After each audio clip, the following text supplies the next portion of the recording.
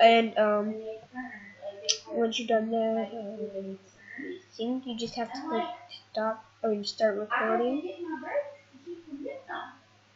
And uh, yeah, that's it. So hope you liked the video.